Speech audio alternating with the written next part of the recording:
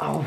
Oh. Are you kidding me? Sorry. You've ruined it again. I'm sorry, I, I couldn't. It needs to be completely silent. I'm really sorry, guys. Who hired this guy? I'm sorry, Charlie.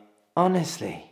Alright, let's go for another. Alright, lights, camera, action.